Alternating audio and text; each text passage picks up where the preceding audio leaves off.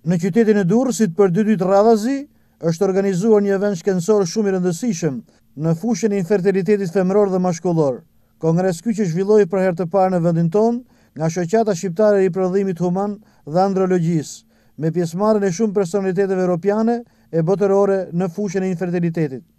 Gjatë zhvillimit të punimeve është vlerësuar bashkëpunimi shkencor shumë i ngushtë mes mjekëve shqiptarë me personalitete botërore të kësaj fushe për të shkëmbyer eksperiencat dhe për të bërë të mundur sa më shumë shërbime për pacientët. Mjeku Orion Glozheni e ka cilësuar kongresin si shumë të rëndësishëm për vendin tonë pasi rreth pesëmbëdhjetë deri në njëzet për qind e çifteve kanë probleme si për gratë ashtu edhe për burrat. Ai tha gjithashtu se në Shqipëri arritjet e kësaj fushe janë tashmë të niveleve botërore.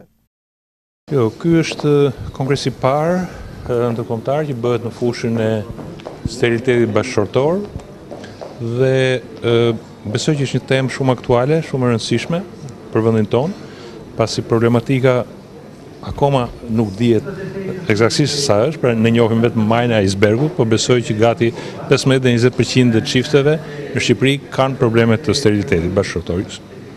kanë nevojë të trajtohen si gratë ashtu dhe burrat për këtë punë dhe e rëndësishme është që këto të bëhen nga njerëz kompetent, të bëhen mm, në klinika të specializuara, pasi jo të gjithë mjekët ose gjinekolog ose androlog janë të specializuar për të ndjekur këto probleme dhe nga ana tjetër çdo njeri duhet të jetë çdo çift qoftë edhe në moshë të re, po ata në moshë të madhe më shumë akoma, duhet të jenë koshient që sa më shpejt t'i ndjekin problemet, sa më shpejt vihet diagnoza, aq më të mira janë rezultatet. Po iku koha, po ikën vitet, gjërat bëhen të vështira dhe mjekësia nuk i ndihmon dot më. Të ftuarit në këtë kongres janë doktorë të njohur nga spitalet e universiteteve më të njohura europiane dhe më gjerë, si Itali, Francë, Zvicër, Angli dhe SHBA.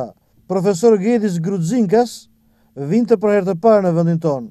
Ai ka vlerësuar nivelin e zhvillimit të kongresit ku shkëmbejnë eksperiencat e tyne si gjinekologët dhe andrologët. Ai tha se në Angli ka pasur rezultate shkencore të mëdha nga përdorimi i teknologjive të ngrirjes dhe ruajtjes së qelizave femërore e mashkullore në ambient të ngrirë. This is a very important conference for me because it is the first time I am in Albania. E rëndësishmja më e madhe e këtij kongresi është se këtu bashkohen dy specialitetet, gjinekologët që janë mjekët e femrave dhe andrologët që janë mjekët e mjekët e meshkujve. Pra bëhen bashkë dy specialitetet e formimit të jetës.